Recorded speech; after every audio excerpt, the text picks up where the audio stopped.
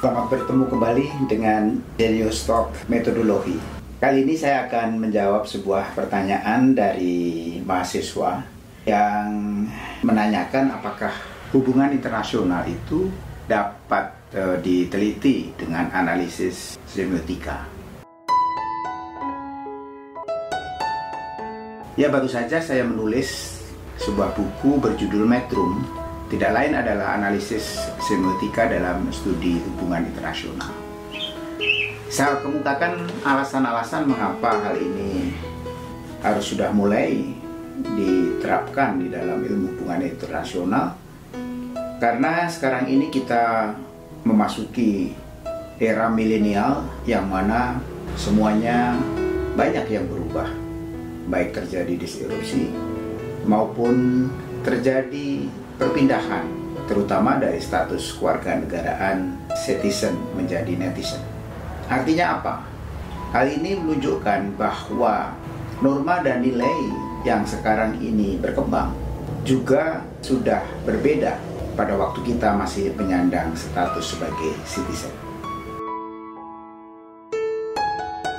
Demikian pula dampaknya terhadap studi hubungan internasional juga berubah Terutama perubahan ini ditunjukkan di dalam fenomena hubungan internasional sudah mengarah kepada digitalisasi yang kemudian juga sudah menggunakan kecerdasan artifisial yang dalam hal ini pasti terjadinya disrupsi berbagai kegiatan hubungan internasional baik dalam hal perundingan, diplomasi, perang, termasuk dalam hal-hal yang bersifat kecerdasan negosiasi misalnya atau penyelesaian-penyelesaian konflik yang berdampak pada tarungan hukum.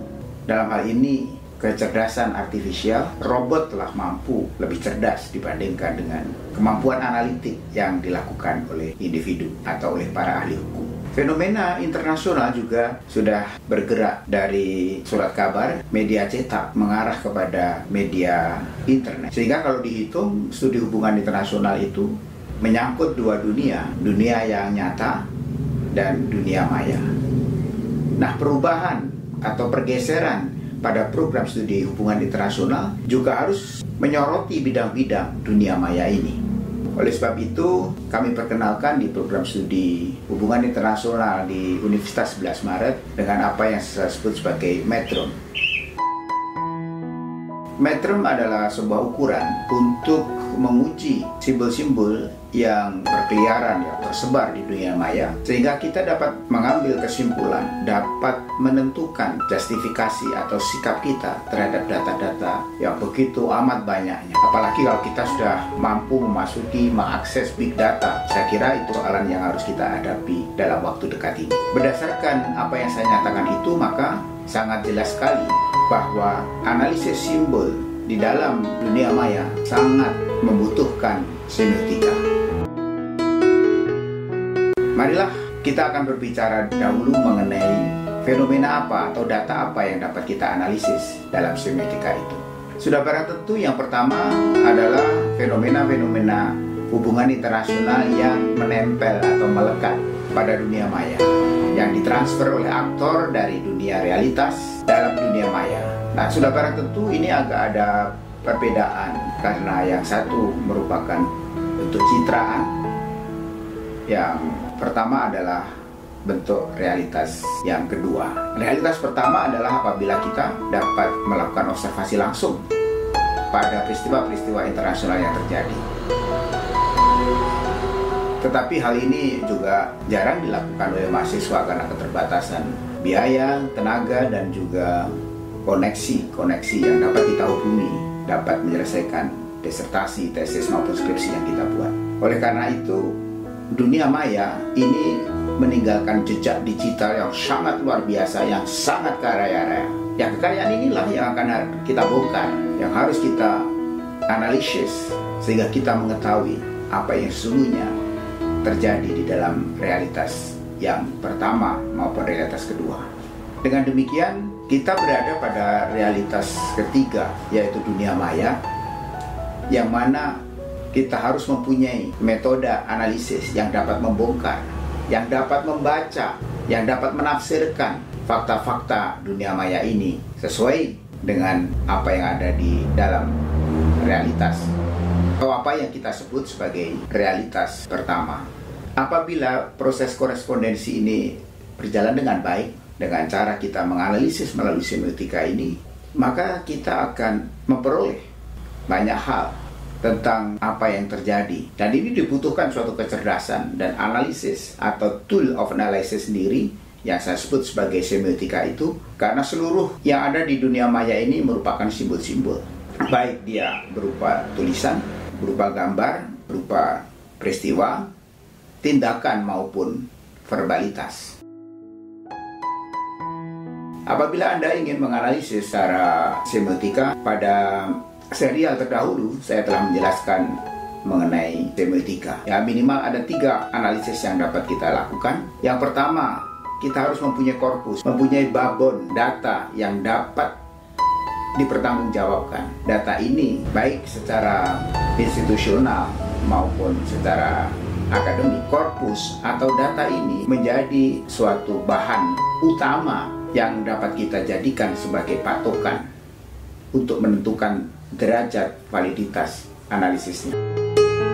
Kemudian yang kedua, kita memasuki analisis semiotika apa yang kita sebut sebagai konteks. Simbol-simbol yang begitu berhamburan, begitu berkeliaran, yang tersebar di dunia maya itu dapat dianalisis, dapat ditentukan berdasarkan konteks yang terjadi. Sehingga konteks ini telah menunjukkan suatu tanda-tanda bahwa kita telah menemukan korespondensi antara teks dan konteks, antara apa yang tertuang, tersimbolkan di dalam dunia maya dengan realitas yang sesungguhnya. Dan yang kedua, kita harus mampu mengambil referensi yang berhubungan dengan teks yang kita sedang analisis yang kita sebut sebagai intertext, yakni data-data referensi yang dapat menjelaskan mengenai simbol-simbol itu sehingga kita memperoleh perbandingan. Setidak-tidaknya kita dapat sikap kita ketika ada dua pilihan. Kemudian yang ketiga juga perlu ada data lapangan kalau kita punya kalau tidak punya, setidaknya kita punya data intersubjektif yang diperoleh melalui wawancara. Sehingga keputusan di dalam metrum ini, ya, metrum ukuran dalam semiotika ini, betul-betul kita telah melakukan suatu uji validitas yang dapat menentukan sebuah kebenaran akademik.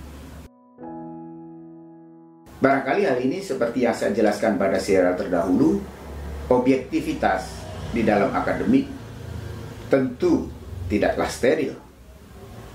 Seorang peneliti mempunyai gaya, mempunyai paradigma berpikir, mempunyai model-model, visi kehidupannya sendiri yang akan memberi warna terhadap fakta-fakta dan objektivitas yang tengah diteliti. Saya kira itu yang dapat saya sampaikan. Hanya saja saya berpesan bahwa karena simbol-simbol yang begitu bertebaran, maka kita fokuskan pada korpus. Dan di dalam korpus itu kita tidak perlu menganalisis semua simbol-simbol yang kira-kira simbol itu tidak unik. Ya seperti apa yang saya pernah saya jelaskan tentang unikos. Kita harus mencari simbol-simbol yang unik yang merepresentasikan atau yang mewakili gagasan-gagasan atau fenomena yang tengah berkembang. Sekian, terima kasih atas perhatian Anda dan sampai jumpa pada serial berikutnya. Bye, dah.